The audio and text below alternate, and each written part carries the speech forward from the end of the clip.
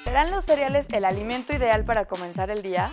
Los papás dicen que los compran porque a los niños les gustan y los piden, pero además la mayoría cree que son nutritivos. La revista del consumidor de abril te da los resultados que el laboratorio de Profeco obtuvo después de analizar 41 cereales y descubrió, entre otras cosas, que en algunas marcas el azúcar que los fabricantes añaden ocupa el equivalente a una tercera parte del producto. Con esta edición conocerás la opinión de nutriólogos respecto a la frecuencia, las raciones y los elementos que debes tomar en cuenta antes de elegir un cereal.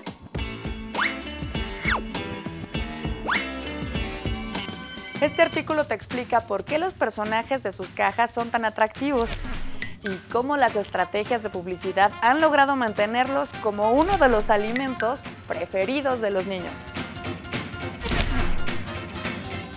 Entérate en las páginas de esta edición de la historia de los colorantes que consumimos día tras día en alimentos y si acaso implican algún riesgo para la salud.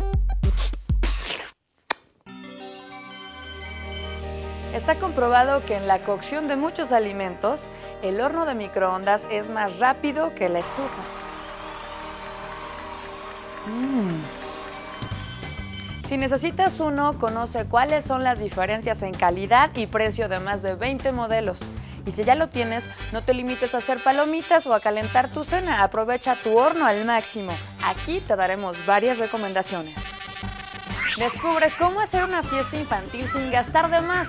Podrás organizarla de acuerdo a tu presupuesto y sin que los pequeños dejen de divertirse. ¿Te has preguntado qué pasa con la leche que caduca en las tiendas? Por ahí se dice que las empresas la utilizan para hacer yogures, quesos y chongos zamoranos. Descubre la verdad en la revista del consumidor de este mes.